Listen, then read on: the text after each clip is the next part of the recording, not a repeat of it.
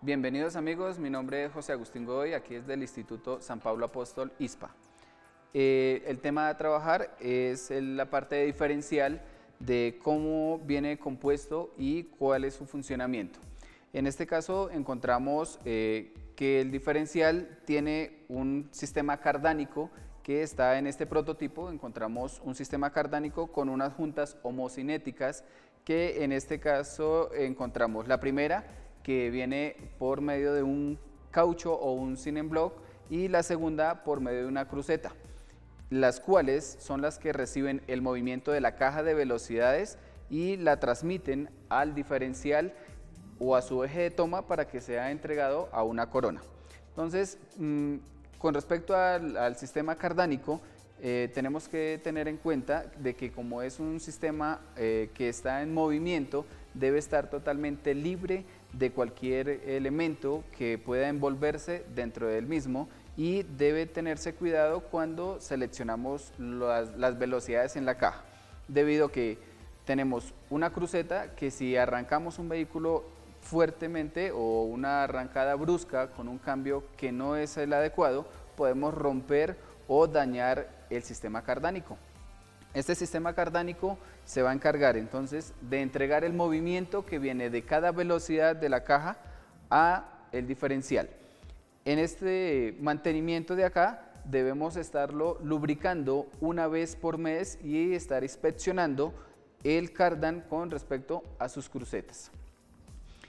Ya ingresando el movimiento al diferencial, eh, podemos encontrar un primer eje que lo evidenciamos acá, donde él viene ensamblado o montado sobre dos rodamientos totalmente cónicos que nos van a permitir eh, el giro o el sentido eh, de su movimiento sin ninguna novedad o un juego axial. Eh, los rodamientos deben estar totalmente lubricados para poder mantener su funcionamiento. Si se pierde la lubricación, rápidamente ellos se van a desgastar y se sobrecalientan hasta llegar el momento de fundir la pieza. Este piñón, que es el eje de ataque, va a entregar el movimiento a un elemento que le denominamos corona, que es la que va a recibir ese movimiento y la va a transmitir a una caja que si yo giro este diferencial acá, podemos observar cómo gira mi sistema cardánico, mi sistema de eje de ataque y mi corona. En la parte interna podemos observar de este sistema diferencial una caja que viene representada eh, por su cuerpo y aloja internamente un juego de piñones. Este juego de piñones eh, tenemos dos que son satélites y dos planetarios. Los satélites van a estar unidos a lo que es la carcasa del diferencial y los planetarios van a estar unidos a lo que son los ejes que se comunican con las llantas o nuestros neumáticos en nuestro señor automóvil. Eh, la particularidad o la importancia de nuestro diferencial es que nos permite que no sea como un vehículo o como un carro esferado. El carro esferado, para poder marcar una curva, siempre va a arrastrar una de sus llantas. En nuestros automóviles o vehículos, eh, la importancia de este señor es que le permite que una llanta eh, vaya, pueda girar a mayor velocidad una que la otra cuando marquemos una curva. Si nosotros marcamos una curva eh, hacia la derecha, siempre la rueda que quede dentro de la curva eh, va a girar mucho más lento que la llanta que quede en la parte externa de la curva va a girar a mayor velocidad. Entonces la velocidad que no adquiere la que está dentro de la curva la va a adquirir la segunda. ¿Quién nos permite realizar eso? Un sistema diferencial como este. Entonces significa que el sistema cardánico le entrega el movimiento al eje de ataque. El eje de ataque se lo va a entregar a la corona y la corona se lo va a entregar ese movimiento a la caja del diferencial y el diferencial le va a entregar ese movimiento a los satélites que van a girar o rotar sobre sus planetarios. Esos planetarios le van a entregar entonces el movimiento a estos ejes. ¿Qué cuidados hay que tener acá? El arranque de nuestra caja de velocidades. Siempre debemos eh, manipular el embrague, caja de velocidades con respecto a nuestro diferencial. Si nosotros no manipulamos esos componentes adecuadamente, nuestro diferencial es el primero que va a comenzar a sufrir desgastes. Cuidados con respecto a la corona, buena lubricación. Que debemos tener cuidado con nuestros satélites y planetarios debido a que si ellos se descomponen significa que podemos encontrar un dado momento de que arrancamos nuestro vehículo, pero nunca la velocidad que está entregando la caja de velocidades va a salir por nuestros ejes laterales. Siempre va a intentar quedarse únicamente hasta nuestro piñón de ataque. Esto para una, para una caja de velocidades de tracción trasera. Si tenemos un vehículo con tracción delantera, todo este componente va a estar unido a la caja de velocidades. Significa que en este caso es tracción trasera, pero en el vehículo de tracción delantera todo este componente va a ser un solo conjunto con la caja de velocidades, pero los cuidados son los mismos.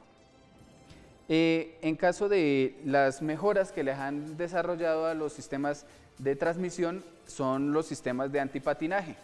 Entonces significa que si este automóvil entra al fango o a un elemento donde le permite que una llanta comience a patinar o a rodar, significa que todo el movimiento que está entregando la caja de velocidades ingresa al diferencial y sale únicamente por un solo eje quedándose quieto la rueda que está en lo firme del sistema del piso, por lo tanto el diferencial va a entregar el movimiento por la rueda que más se facilita su movimiento. La tecnología de hoy día significa que trae unos sensores que le van a permitir medir las velocidades que están marchando cada una de sus llantas.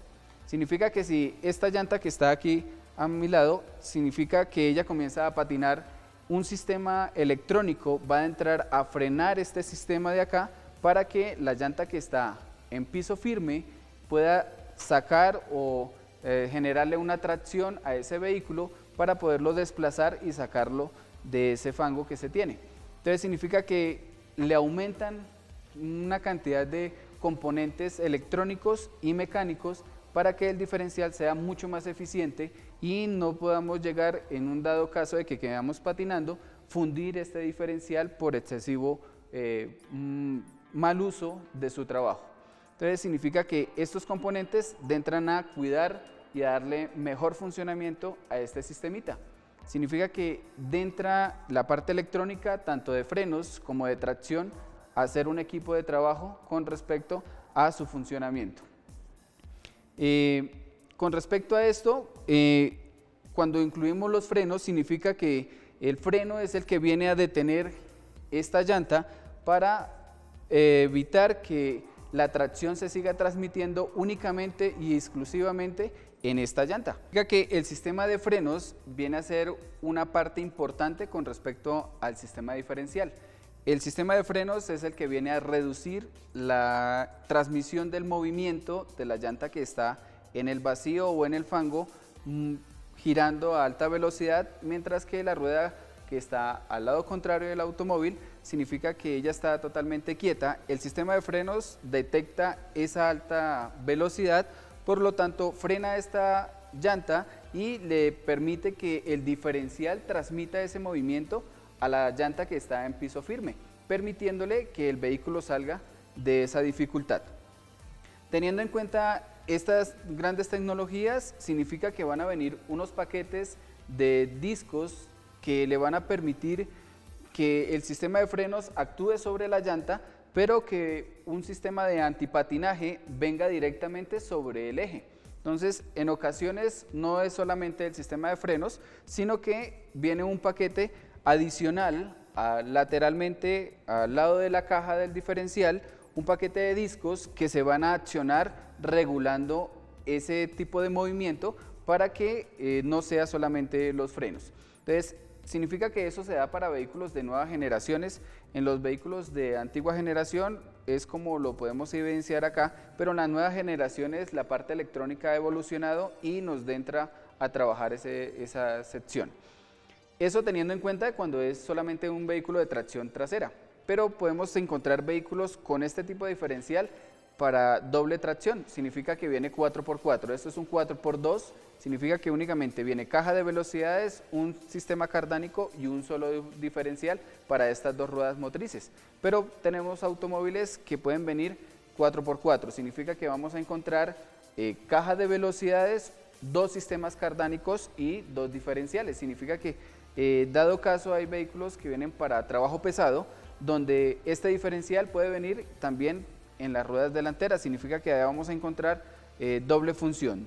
Significa que este diferencial también va a venir en la parte delantera, que puede venir manipulado electrónicamente, donde accionamos un sistema cardánico que se engrane directamente con la caja de velocidades y se transmita tanto el movimiento que está en las llantas traseras, como también se transmita en las llantas delanteras.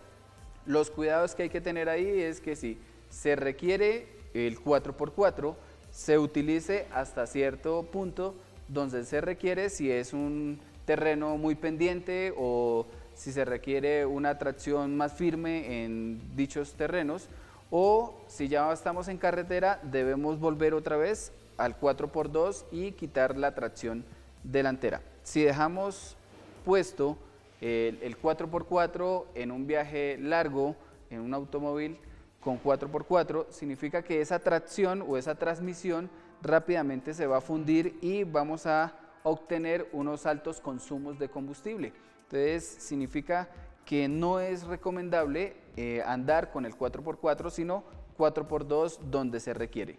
4x4 donde se requiera o eh, especificaciones claras que ese vehículo mm, necesita la alta potencia de esas cuatro.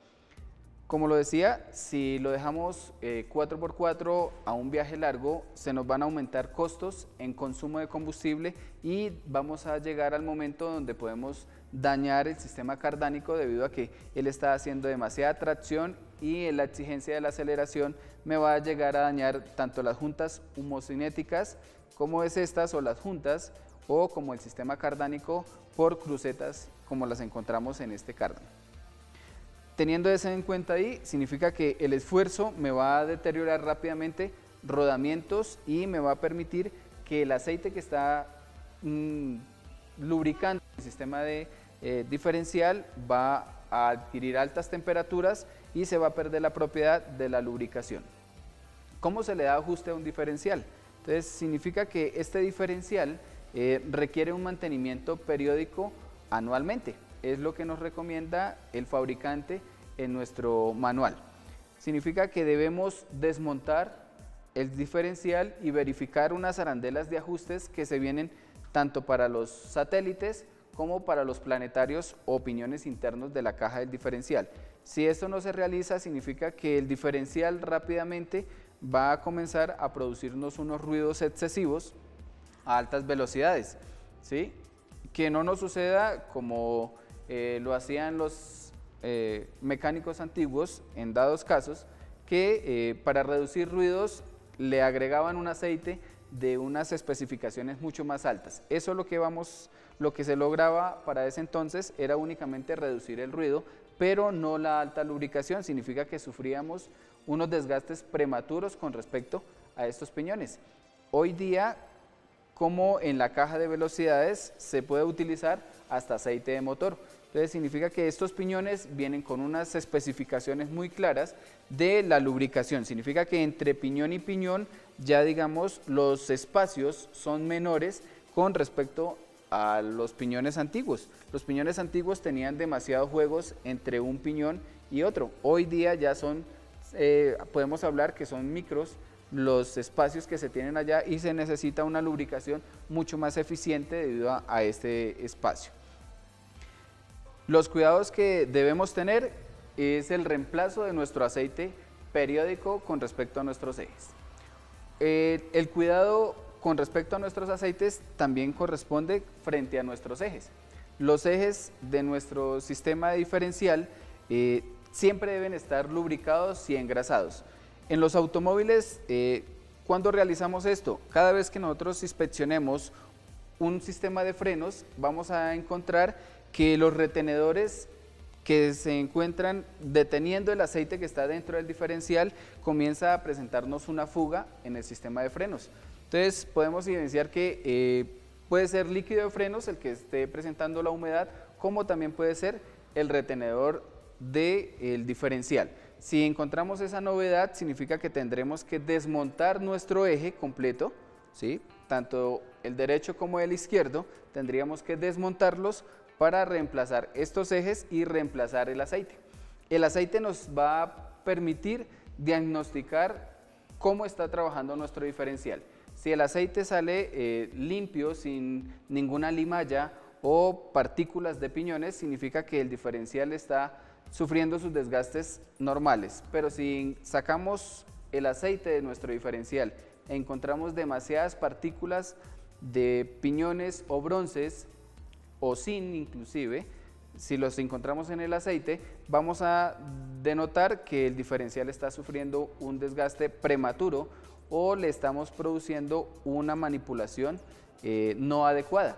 Significa que puede ser que estemos manipulando la caja de velocidades a baja, digamos, son unos cambios eh, bruscos de, digamos, de cuarta, pasar bruscamente a tercera o bruscamente a segunda o inclusive hasta primera, eso significa que el diferencial va a tener que hacer un esfuerzo mayor debido a la inercia o la velocidad que lleve nuestro vehículo. Esto es a grandes rasgos lo que compone, conforma y funciona nuestro sistema diferencial. Muchas gracias. Si tienen alguna inquietud, comunicarse a la página o a nuestros teléfonos que aparecen ahí. Muchas gracias.